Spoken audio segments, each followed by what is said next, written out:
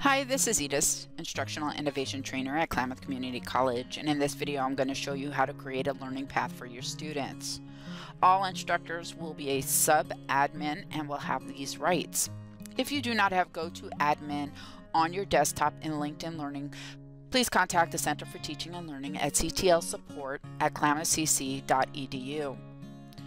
Once you've signed in to LinkedIn Learning, click on GoToAdmin. Next, click on Add. You have these options available to you. Click on Create Learning Path. It is up to you whether you want to create a learning path or copy an existing one.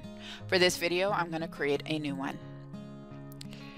You can change the default thumbnail by clicking here and uploading your image. Add a title to your learning path. Add a description of the learning path you are creating.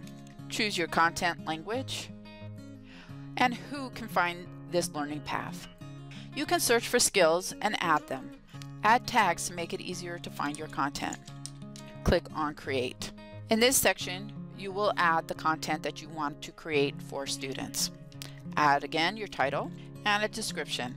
I would recommend using the learning outcomes, either course, program, or institutional in this area so students are aware why they are being assigned this learning path. From here, you can add content. Select the content that you want to add to the learning path. When you are done selecting your courses, click on Done. And you will see your learning path here.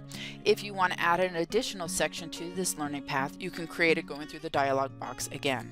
Once you are satisfied with your learning path, click on Save and Publish.